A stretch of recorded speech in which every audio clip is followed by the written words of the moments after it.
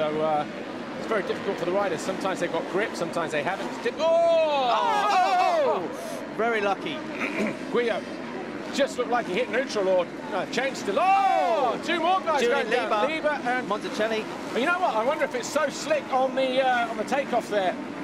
They're just getting no traction. Oh, oh, oh, oh, oh. And the thing is, there should be waved yellows there. Guys should not be jumping at this stage, you know?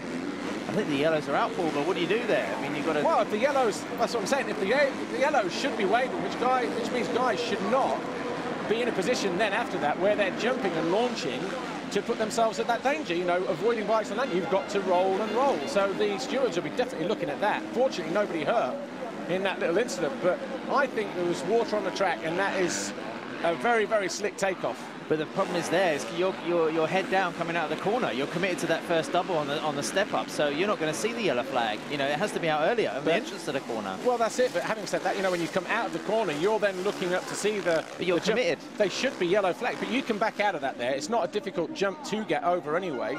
But um, I don't know. We'll have to see if we've got another angle on it. But you see, Jeffrey Herlings just wrestling with the back end there, is uh, dealing with the wet parts of the track. Tonus, though, look, fastest man on track. Right, here we go. Replay. So there's That was him yeah, hitting neutral and getting caught. Yeah. Guillod, on the face of the jump there. So that one was nowhere near where all the other stuff. He was very lucky not to get hit Yeah. there. But then I don't think these guys they collided on the takeoff. They've hit each other. Yeah. But then this accident here, I can't. It's another KTM rider coming to shot at the bottom of the picture. over here. oh, on the oh, look left. there. the- There. yeah. Well short. That was I, Automarker. I don't think it's just one of those freak things where it's unrelatable. Yeah. I mean, you've got riders coming together, but you're making a mistake, and then another guy just like completely endo it.